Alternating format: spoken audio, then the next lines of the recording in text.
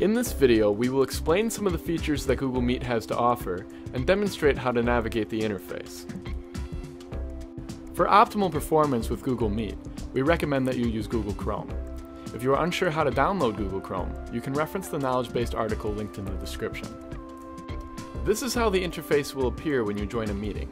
The three buttons centered at the bottom of the screen will allow you to toggle your microphone and camera or leave the call. In the bottom left corner, you can find the meeting details.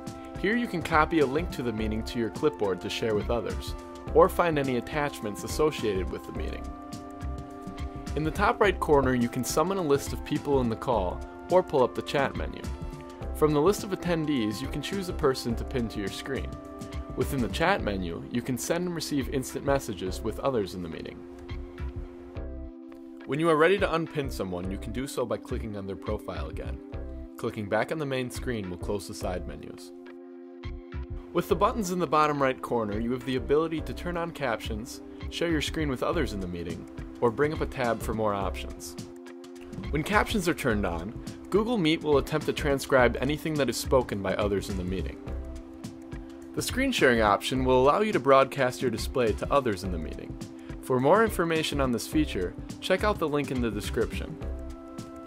Clicking on More Options will bring up a list of additional features. From here you can choose to record a meeting for later reference. Always be sure to have permission from all participants to record a meeting before doing so. The More Options tab will also allow you to change your screen layout, view the meeting in full screen mode, and adjust speaker, microphone, and camera settings. Under audio settings, you can choose which devices you would like to use for your speakers and microphone.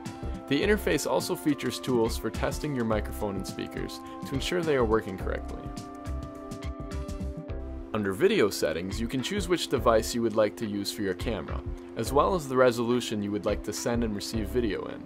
Choosing a lower resolution may improve performance. Now you should have all the information you need on navigating Google Meet.